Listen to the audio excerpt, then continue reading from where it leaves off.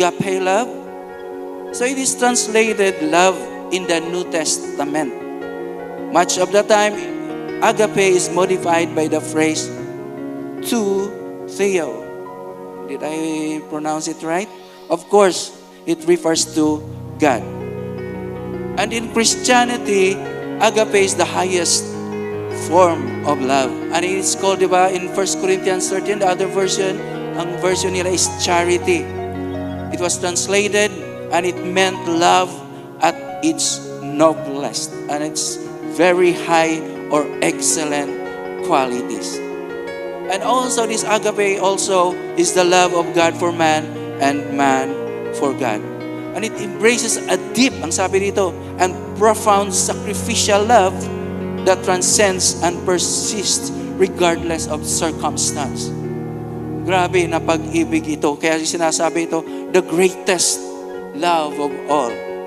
So agape is almost always used to describe the love that is of and from God whose very nature is love itself. Di ba binasa natin kanina in 1 John 4, 8, 4, 7 to 8? Okay?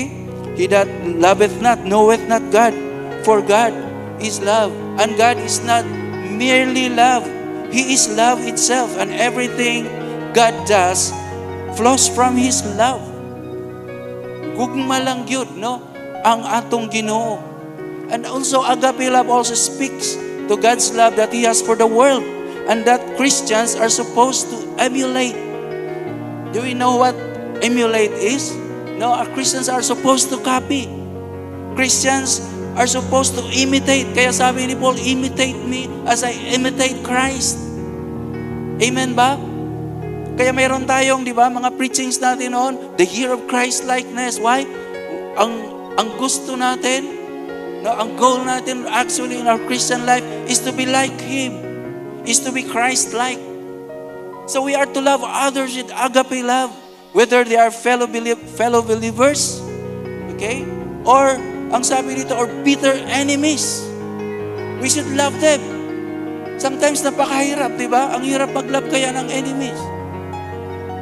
Kaya merong sinabi, pag binato ka ng bato, ba usually ang nagbabato sa iyo ng bato, ang enemies natin? Di ba? Yung mga nagkikriticize sa atin. Sinabi ko na ito noon, no? Matagal na mga preachings. Pag binato ka ng bato, gawin mong stepping stone. Di ba? Usually, ang enemies natin, ganyan ang gusto nila, saktan tayo, pero gawin mong stepping stone. Pag binato ka ng tinapay, kanang gahi, na may tinapay po nga bato. Gawin mong daily bread.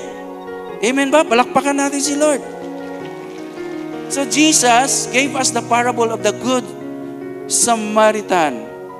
Oy, meron daw mga Christians ngayon, no? Magaling sila mag ano, pero ang tawag sa kanila the good Samaritans. Okay? Kasi na, magaling sila mag ano, mag-share sa word ni Lord. Di ba? Yun ang mga hindi lang marites na walang kwenta. Tingnan mo ang katabi mo. Oh, wag mong sabihan ng marites lang. Sabihin mo, the good Samarites. Amen? Amen. Okay. So agape love is modeled, modeled by Christ. And it's not based on feelings. Rather, it is determined act of the will and joyful resolve to put the welfare of others above their own. So others talaga ang concern ng agape love. Kung i-discuss natin ibang klaseng love, yan opposite yung iba.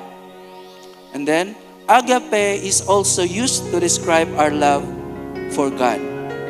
Ang sabi ito sa Luke 10.27, the man replied, the scriptures say, Love the Lord your God with all your heart, with all your soul, with all your strength, and with all your mind. Yung love na yan does not uh, come to us naturally kasi hindi nga talaga tayo no natural na nagmamahal because of our fallen nature. So if you are to love as God loves, that love, that agape love can only come from its source. The source of love, our God. So there is also a Hebrew word for agape love, and that it was called the chesed. Uh, chesed. Pero sa ibang mga mga version, walang si. Hesed, hesed lang. Eh, tama ba itong pag-pronounce ko? It's also agape love, which are used to express the kind of love God demonstrates to the world and His elect. And this, this chesed is often translated as steadfast love or loving kindness. Kaya di ba ang sabi ng Bible, the steadfast love of the Lord, ano? Never ceases. Meaning steadfast love, it's firm. It's unwavering. Dili siya matarog, fixed. And then kindness meaning favor, affection, and the state of being sympathetic, helpful, forbearing. Kindness also implies deeds you do to someone. Sabi nga ng ano, the only thing that you can give, no, na wala talagang uh, hindi siya costly, is kindness. Amen ba? So mercy, sabi, also means compassion for forbearance and a blessing is an act of divine favor. So Hesed, i-ano natin sa isang meaning is, is an unwavering, unchanging, sympathetic, forbearing, devoted affection work out in deeds. And the good example of that verse, in sabi ng Numbers 14:18, the Lord is slow to anger, abounding in love, in steadfast love, forgiving iniquity and transgression. You see, God's loving kindness or chesed love is why He never gives up. Hindi nag-give up si Lord sa atin. Kaya may tinatawag na na na kantang stubborn love. That's a love that will never give up. Who always embrace even the worst in you. The worst in us. Yan ang gugma ni Lord. Yan ang loving kindness na tinatawag. Okay, God's people in the Old Testament, pag, uh, di ba, nagbabasa tayo ng Bible in the Old Testament, repeatedly they fall to sin. They fall to idolatry. And yet, He always preserve a remnant. May tinitira talaga si Lord. He never give up, gives up on His people. And the reason of that is His chesed love. That deserves a clap for the Lord. Palakpakan nga natin si Lord niyan. So God loves because that He is His nature. No? It is His nature and the expression of His being.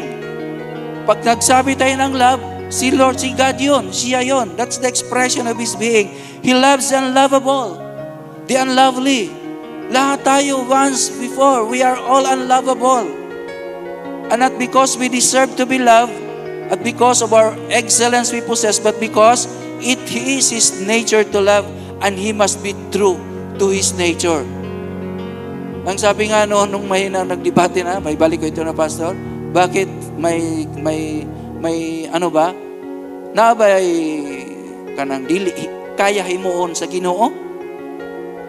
Unsa man? Naabay si Lord naabay siya kaya dili dili niya kaya himuon di ay? So ang dili niya kaya himuon, di ba? Ang mamakak or dili maglove. Why? Because that's His nature. Hindi niya, hindi guys, hindi niya kaya. Walang hindi kaya si Lord. Nothing is impossible with Him.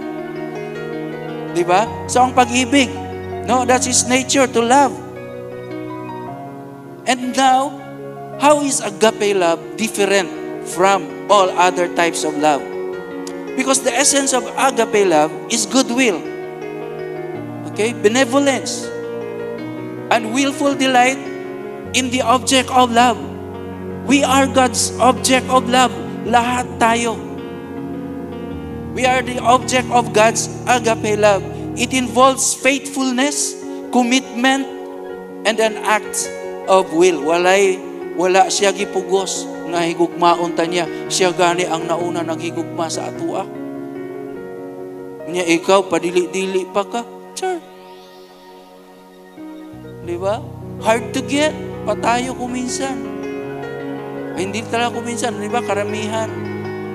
Di ba? So, agape love is distinguished from other types of love by its lofty, its superiority, its lofty moral nature and strong character. And you know what? Agape love is described, is described in 1 Corinthians 13. At tingnan mo, talagang dumating tayo sa 1 Corinthians 13. Sinong naka-very familiar sa verse sa chapter na ito? Okay? So you know what? This chapter uh, begins, no? Ang sabi, that without love, you are nothing. I am nothing. So it's gonna be love or nothing. You know what? This chapter speaks to people who are sick, people who are not living, people who can properly say, I am nothing. Kasi makasulti, hantod karon nga you are, we are, your I am nothing. Di ba? So what is a nothing person? Di ba? Very star, very startling, no? Ma-surprise ta, no? Kung ma-apply ni sa usa ka tawo. Okay? So ang nothing pala it means not anything, not at all. Of course, it's the opposite of something. So pag nothing of no account, of no value, and nothing even means non-existent. Tingnan mo yung katabi mo, sabihin mo, wala ka dyan. Yan ang ibig sabihin ng non-existent. So is a nothing person. Bakit sinabi ni Paul that I am nothing? Why? Because wala siyang, kung wala siyang pag-ibig. So this is actually is, is also a spiritual nothingness. Okay? Because love is a spiritual thing. Kaya ito ang ibig sabihin ni Paul. No, sa first three verse, verses, no, basahin nyo na lang. Yung 1 Corinthians uh, 13, 1 to 3. It means that all we do, no matter how grand, no matter what our achievements are, if it's without love, it'll be nothing. You see? Talagang ang pag-ibig, siya pala talagang pinaka-importante sa buong mundo, the greatest love of all. So a Christians cannot, by having all this, no, by just giving, eh, di ba, magpakamatay na nga siya siyang tao, by just giving all his possessions, produce and increase any spiritual in his heart without love. So, everything is nothing without love.